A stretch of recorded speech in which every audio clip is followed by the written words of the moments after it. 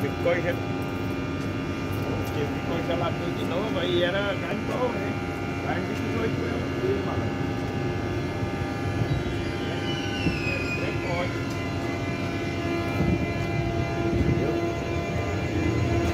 Então falou, Reginaldo, vou, vou, eu acho que pegar esse dele aqui, o trem já tá indo embora, eu vou pegar ele aqui, dar uma volta com ele pela. Vou lá em Alpicate com ele de moto andar boa. Então falou, falou, até mais, falou, Reginaldo, tchau.